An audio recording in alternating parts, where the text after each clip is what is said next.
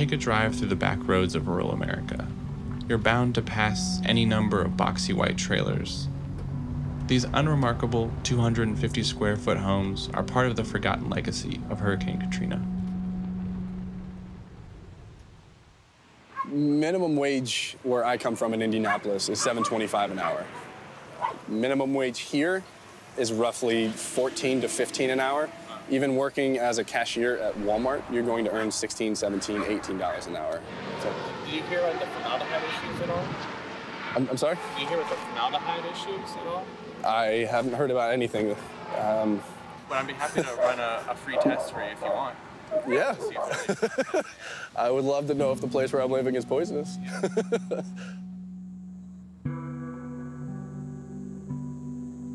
Ten years ago, Hurricanes Katrina and Rita tore into the Gulf Coast and displaced over a million people. In response, the Federal Emergency Management Agency deployed over 120,000 trailers to the region.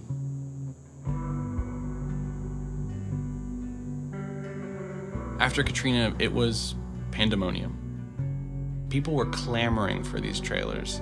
There were protests about how slow they were getting deployed, and people wanted a place to live. There were so many bare necessities that were problems that the FEMA trailers having some sort of strange air to them was just one of many things that were going on.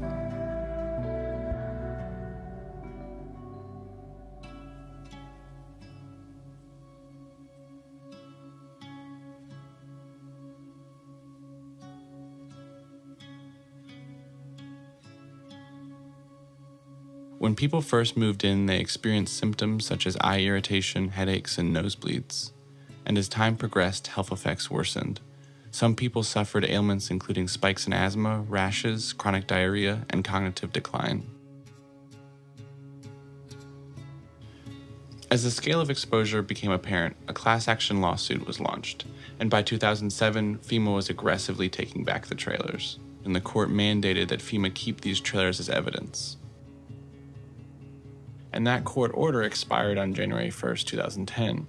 So that's the date when they were able to cut their losses. They were spending tens of millions of dollars a year to maintain the lots.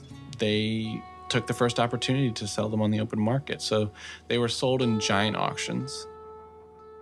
They were sold very cheap, often in large lots.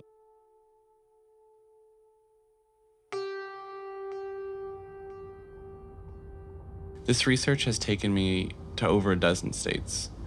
People have emailed and called me from every corner of the country. And many of them weren't even sure whether or not they had a FEMA trailer, so I would run their VIN numbers through a list of every trailer FEMA sold.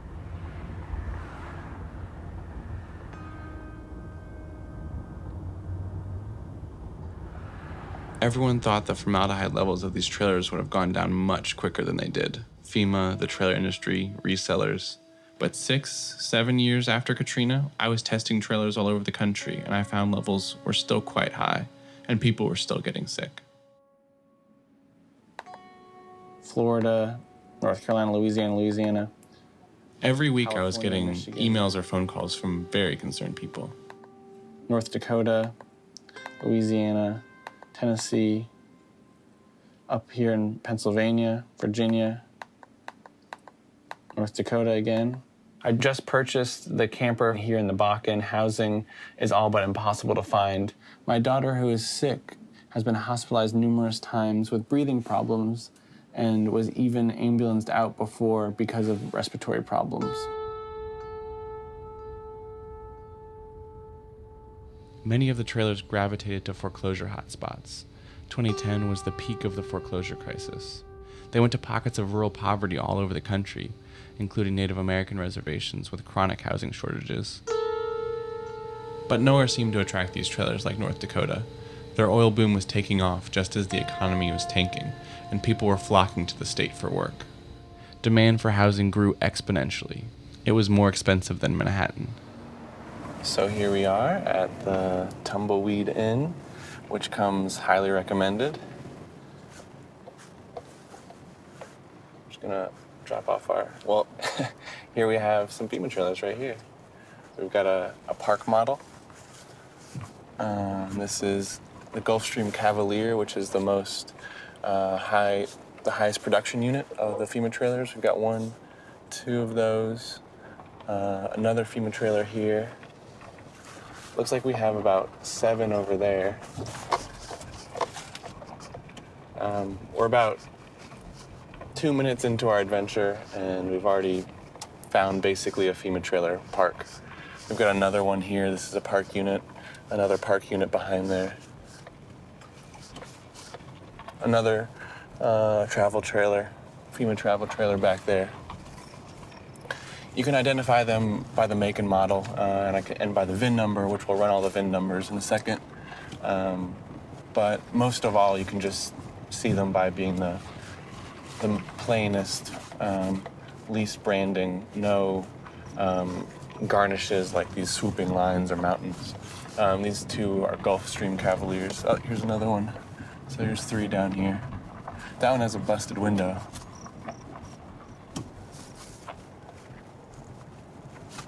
Looks like people are home in most of them. We'll drop off our gear and say hi. And when I came out here, I was like, man, this is like back at home. Not the scenery, but like back at home, the trailers, you know? Back at home, just more money. So I just kind of, I'm used to it. I'm used to it. Were you surprised when you saw? You're like, hey, I know these trailers. Yeah, I was. I was like, dang, I just came from this trailer. I'm like, I'm back in it, huh? They got mold right here, mold right here, mold right here. It's not meant for weather. Nobody wants to live with this. Who wants to live with that? Not the people around here that's working.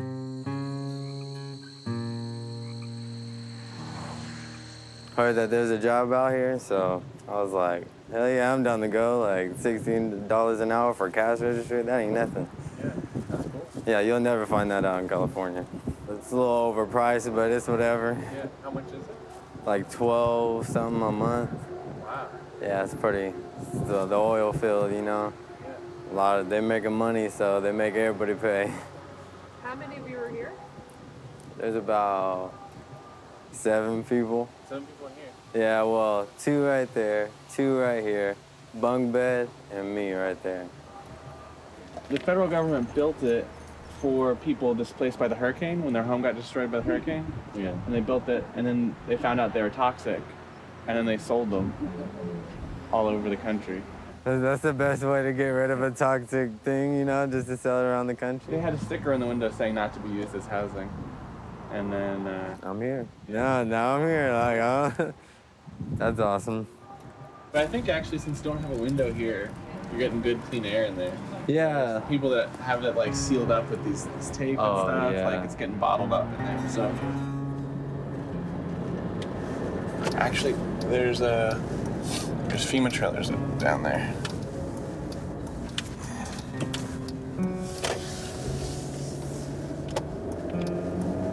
Yeah, there's like at least two or three.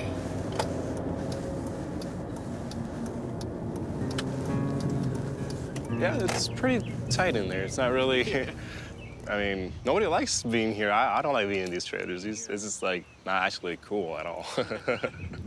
yeah, there are like three more in there, three, and then plus me and my dad. This is not that we want to live like, want to, you know, live like this, like all tied up and stuff like that. But That's what the whole plan of this is. Altogether, we actually end up paying just like a hundred bucks each. which saves us a lot of money. So one of the reasons why we knocked on your door in particular is that this looks like it's uh, a former FEMA trailer. So a trailer that was made by the uh, federal government um, in 2005 or 2006 for people in the Gulf Coast um, after Hurricanes Katrina and Rita. Um, That's pretty. That's pretty interesting because the guy who sold us that is exactly that year, 2005. Well, we can look up the VIN number and see if it was from there. Would you be interested in? We could try. I really wouldn't know. I wouldn't, you. exactly wouldn't know where it is. Sure. Yeah, I'll show you. Sure. Here it is, right, right there. So it's barely legible.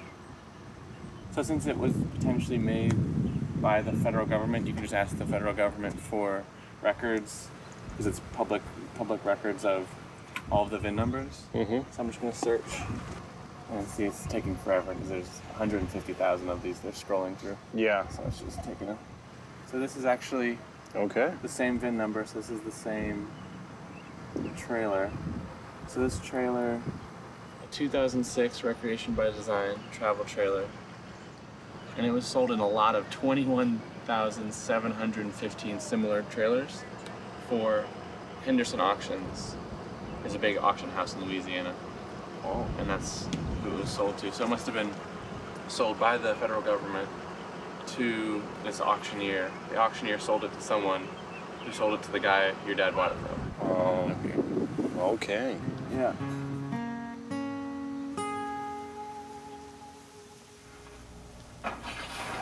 Uh, yeah, originally this was going to be a summer job for me. Decided to keep staying because I did not save any of my money.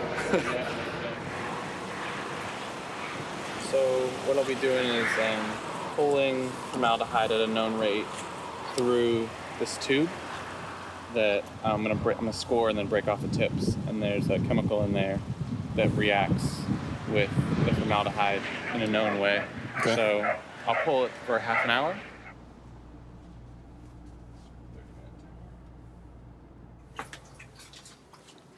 Hopefully the results are not worrisome. They're not too bad. They're not, you know, incredible. Uh, it's about 20 parts per billion, um, which is. What's the, what's the danger zone? Can you put it in perspective for me? Yeah, yeah. of course. It's 20. there you go. Bye. Uh, so a lot of the trailers I was testing uh, back in 2011, 2012 were hitting like upwards of 100, 100 parts per billion. Okay. And so this is 20, so it's about a fifth of that.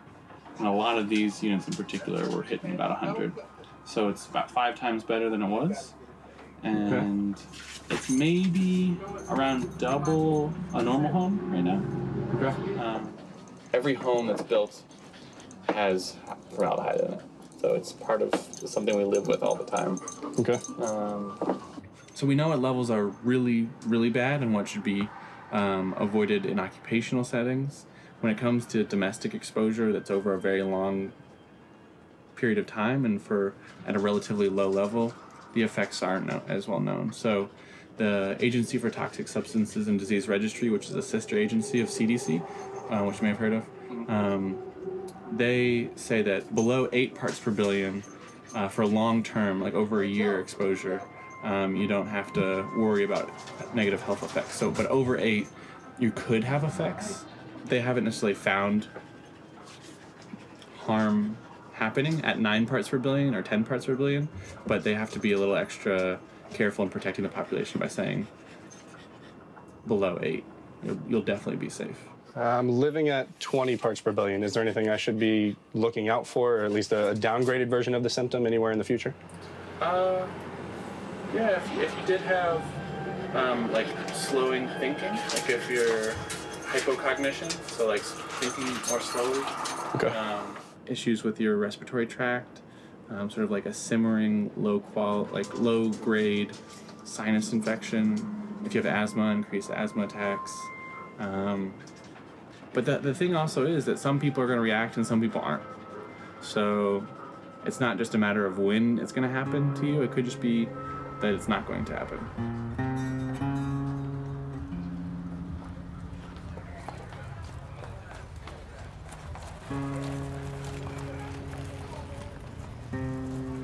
We thought that we'd find some trailers, but we had no idea that we'd find them in basically in post Katrina concentrations.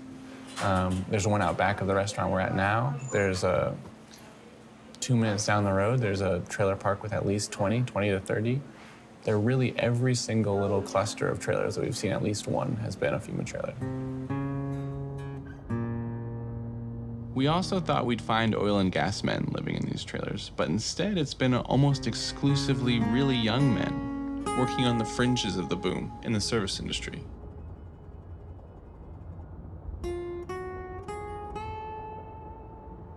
We're on our way to meet with Delvin Cree on trust land of the Turtle Mountain Reservation about three hours northeast of the Bakken Shale. I've been trying to get in touch with Delvin for at least three years because he's the most outspoken person about the hazards Native Americans have endured living in these trailers.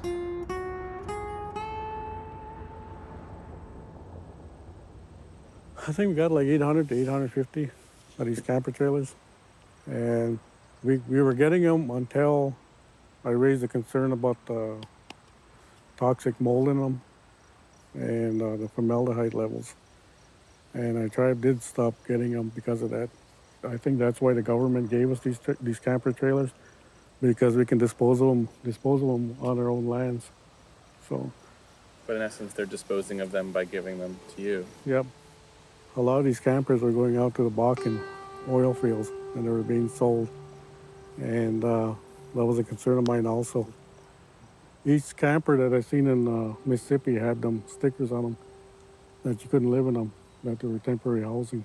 And when they got up here, all them stickers were gone. Were you aware that it was a FEMA unit when you when you purchased it? I kind of thought it was, but they weren't being advertised as being that. You know, I mean, it was great. Now I bought and I got my money invested in a house, and the house is making me sick. You know.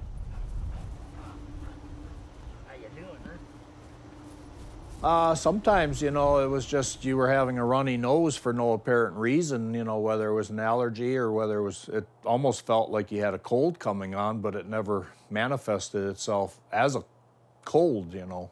Sleepless nights, uh, toss and turn, toss and turn. Uh, that's gotten a lot better now. I mean, a lot of times I'll sleep six, seven hours straight through, you know.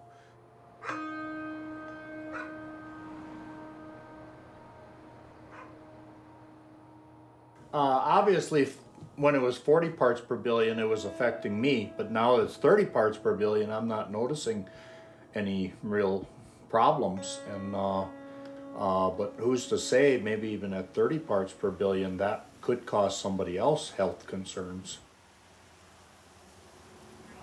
We can't say that Greg's house is safe. Uh, the level is still higher than what I would want to live in. It's also certainly several times higher than the cancer risk level.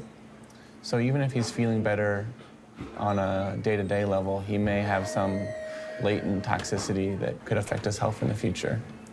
So the toxicity that Greg is dealing with now is no longer the extraordinary toxicity that was relegated to those kinds of homes, but the everyday sort of toxicity that we all have to deal with, since all our homes are held together with these same materials.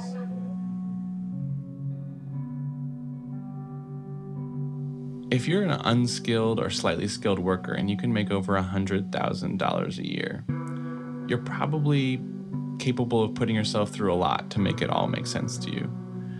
But for the people we've been talking to, who have mostly been service industry folks, where they're making maybe $10 an hour more than they would, they're also paying higher rent than they would, living in worse conditions than they would, more isolated than they would. Is it really worth it at the end of the day?